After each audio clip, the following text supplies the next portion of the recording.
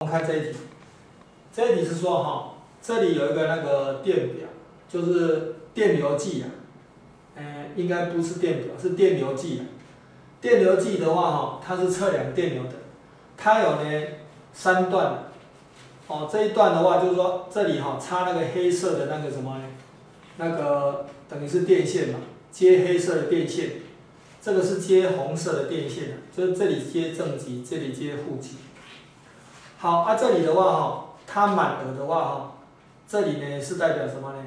就是这里的话满额是吧？满额是那个五安培的，这写错。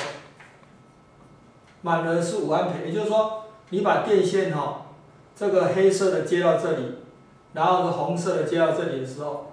如果呢，它跑到这里来的话，代表电流是五安培。啊，你如果把它插到这里来的话，满额是吧？是五百毫安培啊。我就是说，它如果跑指针跑到这里来，代表五百毫安培。啊，你如果把红色的，就是那一根电线哈，插到这里来的话，那满额就是五十毫安培这样子。好，那么他说哈，有一个毫安培计啊哈，如这个图了啊。下列叙述何者正确？好，A 选项，他说哈，若接在呢五十五百毫安培，就说哈，你把那个正极哈，那个插头插到这里来，结果那个电流的话哈，结果指到这里来，那代表多少？代表三百多了。为什么？因为你把它插插到五百毫安培所以指到三百多。他说电流读数应该三百四十安培，这错了，应该是三百哈。他说 A 选项，他说接到五百毫安培嘛。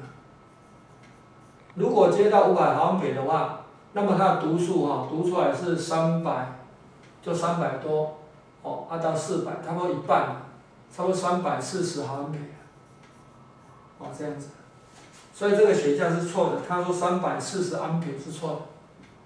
上看呢 B 选项，他说若接在五十毫安培哦，哦就接在这里了，这个时候读数就是三十四毫安培哦，如果是接在呢五十毫安培的话，那么这个读数就是呢三十四毫安培才对。所以这个零点三四安培也不对了，零点三四安培是等于三百四十毫安培嘛？哦，因为一毫安培哦。是等于多少呢？是等于十的负三次方，千分之一安培。哦，所以这个选项也是不对。再我们看 C 选项，他说若接在五安培这里的话，那么这个读数哈就是，呃三点四安培。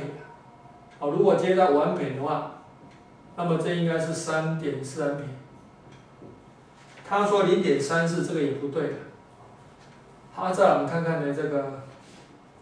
D 这个选项啊第二个选项的话，他说，如果是接在哈五百毫安培的话，那么它电流读数是零点三四呢安培，这个对啊，因为零点三四安培等于多少？等于三百四十毫安培，哦，就三百四十毫安培，所以 D 选项这个是对的。